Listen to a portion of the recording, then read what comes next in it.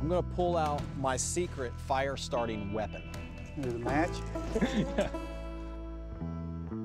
Wait a minute. I knew we come to the wrong place. I didn't sign up for that. Next thing I know, the man's pulling out a sleeve of condoms, saying we're fixing to use these condoms to start a fire. We're trying to magnify as much of that sunlight as humanly possible. I'm gonna have you open that up, and now just kind of blow it up. Give her a good blow there, Yeah, yeah, Frisbee. yeah. Stretch it out a little bit. Nice and big, don't pop it. Just keep it away from all that sharp stuff. My concept is to fill a condom with water, shape it into a ball, put it in between the milkweed ovum and the sun to magnify the rays and hopefully make that milkweed ovum smolder. See where it's starting to focus? This is some MacGyver stuff. I'm gonna hold this steady. Excuse me? I'm gonna hold On this right here on your chest, brother.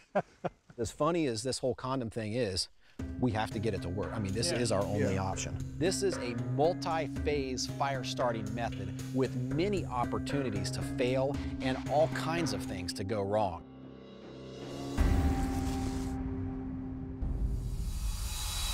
This whole thing is going south really quick. And quite frankly, I don't think these guys really understand we could go into this night without having a fire.